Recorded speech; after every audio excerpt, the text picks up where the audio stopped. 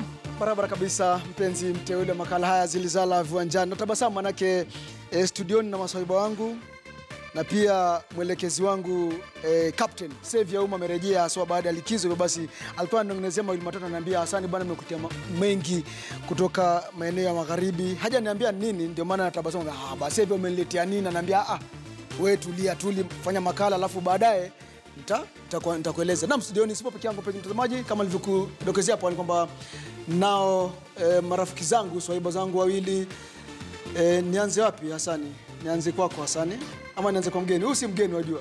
Huyu huyu tushampatia chumba hapo. Huyu nafikiri wiki ijayo utamwona akisoma habari KTN News. Naam, e, ni Jafet, Jafet Ahuli ambaye ni mkuu wa mauzo na mawasiliano katika kampuni ya Star Times. Nafikiri nimewahi ama ama sawa? baba. Mm, Uko sawa lakini bro? Nipo sawa. Mambo vipi? Si mbaya. Ah, weekend ilikuwa zako, nzuri. ehe. Timu zangu za za cheza, ehe. za cheza. Wajua nasema hivyo timu zangu maana ni jamaa wa Manchester huyu. Sasa sasa Manchester City, Manchester United. Yaani wako hapa tu, hapa tu. Tupo sawa. Eh. Msimu huu Eh. kombe Old Trafford. Hey, so mambo vipi?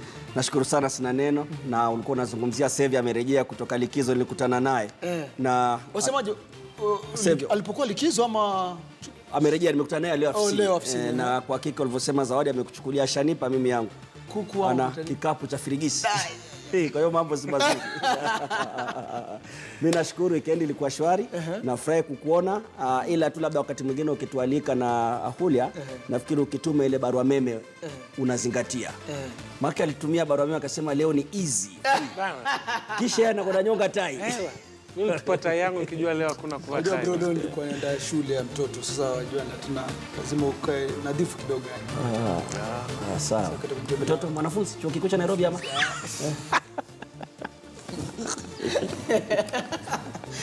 Sevia, naam, tupate eh, kimbwanga cha siku.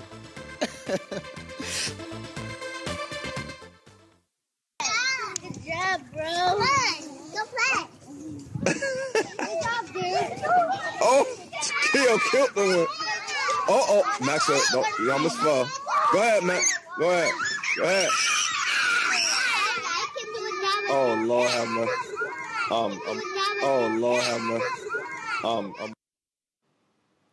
Naam, ni wakufunzi wakubwa eh, katika ligi ya Uingereza na majina makubwa sana manake eh, kuna Jurgen Klopp hapo. Liverpool ijakuwa na msimu mzuri sana, ndio maana jamaa shindwa hata kufanya ile dab, manake mambo hayajakuwa mazuri sana, lakini ukimwona kina Jose Mourinho eh, Pep Guardiola eh, nani mwingine hapo eh, as, Eh, Conte. Conte yuko hapo. eh, Conte, Antonio Conte wote. Wenga tutaangalia jedwali ndio tukuulize kujibu kwa nini hawezi ameshindwa kufanya the dab. Penye mtazamaji, tuanze eh, makala ziliza zilizala viwanjani Kisii, ambapo wakati wa mashindano ya ubingwa kwa vijana wasiozidi umri wa miaka 18 shule ya sekondari ya Mogonga kaunti ya Kisii ilikuwa na wanafunzi wanne katika timu ya Kenya, ikiwa nambari ya juu zaidi kutoka kwa shule moja. Shule hiyo ilikuwa na Mary Mora, mwanariadha waliomwamini na ambaye aliweza kunyakua nafasi ya tatu katika mbio za mita 400 na kunyakua medali ya fedha. Elijah Matayo aliyemaliza katika nafasi ya tano. Nahodha wa Kenya David Saruni katika mbio za mita 100 aliyetimuliwa kutoka katika mbio hizo eh, kwenda baada ya kwenda kinyume na maadili ya kuruka viunzi na maji katika mbio za mita 400. Ni shule inayoendelea kubobea katika riadha hata ingawa wana changamoto si haba. Naam, mwanahabari mwenzangu eh, Fred Maturi alitembelea wanariadha katika shule hiyo na kutufungulia basi jamvi la zilizala viwanjani hii leo siku ya Jumatatu. unakuja unatulia, ukijaribu kutingisika kidogo tu wewe umetolewa nje na unapewa red. Kufuatia matokeo mema katika mashindano kwa ubingwa wa dunia kwa vijana wasiozidi miaka 18, shule ya sekondari Mogonga inaendelea na nia yake ya kuzalisha vipaji hata ingawa uwanja wa shule hii ni wa mita 230. 5 meters to the finishing. Sawa, nisa Wanariadha wachanga hukita kambi shuleni mwezi wa Aprili, Agosti na Disemba, na mbali na uwanja wao kuwa mdogo, wanariadha hawa hutumia barabara hii kwa mazoezi. Actually, our school has presented the highest number in the nationals always. Shule hii imewaajiri kocha watano waliohitimu kama wakufunzi wa riadha. Hata hivyo, wanafunzi ambao hawakuweza kushiriki katika mashindano ya michezo kwa shule za sekondari za Jumuiya ya Afrika Mashariki wangali na matumaini.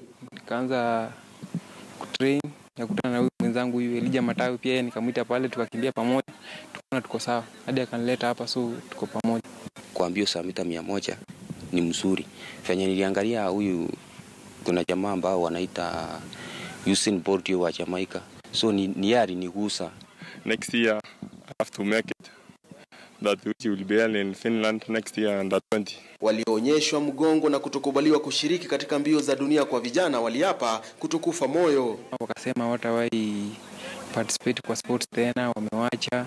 Miko zinapenda kukimbia na iko kwa damu, Akasema haina haja. Pia hapo mbeleni kuna event zingine sitawacha, endelea tu kufanya mazoezi. Kambi hii ilizinduliwa mwaka wa 2013 kufuatia usaidizi wa bodi ya shule na mwenyekiti wa shirikisho la riadha Nyanza Kusini Peter Angwenyi. The challenge we are facing in Mugunga camp is uh, equipment.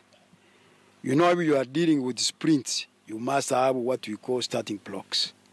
When a child leaves here to go to Nairobi, he doesn't get a starting block which he has never used. I'm here as a trainer, training uh, these uh, young athletes to nurture their talents so that they can perform or maximize their performance. Fred Moturi, KTN News. Mm, naam, asante sana Fred Moturi, mwanahabari wetu ambaye e, ipo katika maeneo ya kaunti ile ya Kisii. Naam, tuendelee mbele ambapo Kabras Sugar ndio mabingwa wa mkondo wa Sepetuka Sevens kwenye msururu wa kitaifa wa raga nchini. Kabras wamewacharaza ama walicharaza Impala Saracens alama 24 kwa saba katika fainali iliyochezwa ugani Eldoret Sports Club.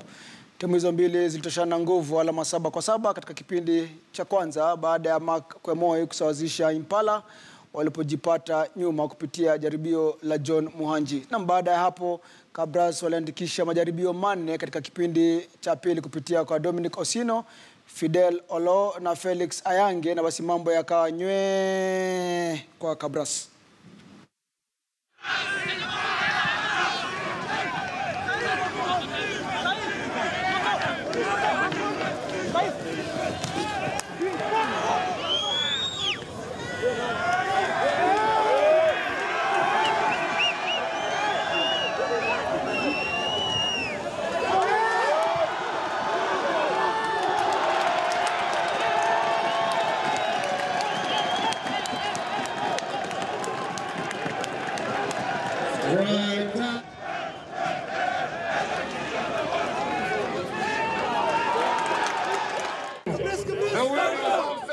0737T, Cabras Sugar. For me particularly, it's very exciting. I mean, we've moved now from sixth to second. We are five points behind Homeboys, So um, obviously um, now going out for that title, you know, uh, all um, all together. So we've got two tournaments left. We've got to do the business on our end, you know, so um, I'll let the boys enjoy this for one or two days. Then get back to the drawing board and uh, come out all guns blazing um, for Christie Sevens in Nairobi and Dala Sevens in, in Kisumu in two weeks' time. Naam, ni washindi e, wa e, msururu huo haswa baada ya mkondo huu wa Sepetuka Sevens. Jukwaa naliuta Sepetuka ambao uliandaliwa katika kaunti ya Uasin Gishu. Hasani, tutanisaidia hapa maanake baada ya mikondo minne e, Homeboys wapo kidedea e, kwa jumla alama e, 68 wakifuatiwa kwa karibu na Kabras. Walitawala mkondo ule wa Eldoret, au sio? Bila shaka. Ehe, Na- Impala, Oilers na Nakuru ndio timu ambazo timu tano ambazo zipo eh, juu. Mm, na hata kama ulivyosikia anasema pengo ni alama tano pekee na wanawinda uh, mkondo ujao. La- Lakini ukiangalia kwa jumla pia nishangaza sana kuwaona Nakuru wako chini kiasi hicho wake mm. huwa wanasukumana sana, lakini kwa jumla ukiangalia haya mashindano Kabras na Homeboys mm. e, zimekuwa ni timu za kusukumana sana. Wasemaje ni Manchester Impala- City na Manchester United eh? zama hizo namfurahisha Jafo. lakini wanaimpanda pia wamekuwepo na Jafet pia ni shabiki wa raga atakwambia tangu hapo Ingawa ingawaje unahisi kwa kiasi fulani Jafo ile raga tulikuwa tunaifuatilia kila wikendi wachia huu msururu kila wikendi Ngong Road Ngong Road Mm. Impala Sevens kidogo unafanya inafanya kushuka na hii inashuka, na pia unakumbuka Kenya Sevens shujaa Mm. wenyewe wakati mm. wa imba na nini ni mchezo wa raga ambao ukilinganisha na kabumbu labda jafuata kuja nieleze hilo Mimi nahisi kwamba kabumbu hapa Kenya ni ya walalahoi mm. ushaona Ah. uh -huh. lakini raga ni mababi kiasi fulani waangalie mashabiki wanaokwenda raga Eh.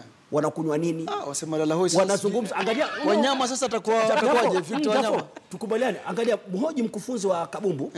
Timu yote ya soka nchini na msikize mkufunzi wa raga. Si usikie vile anaongea. Hata tuelewani bwana. Na, tuangalie wale ambao eh, wanakodolea macho shoka la mchujo. Mm. manake hawa ni wale ambao wapo kidedea. Naam. Eh, naam tuendelee mbele.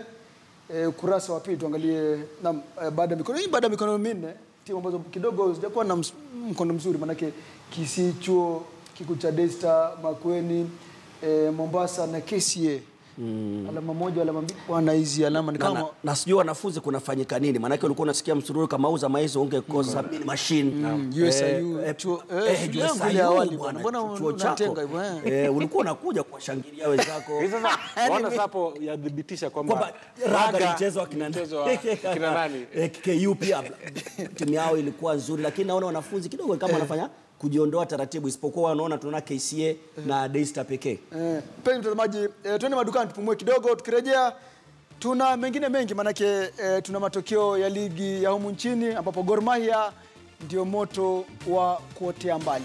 sicheze mbali.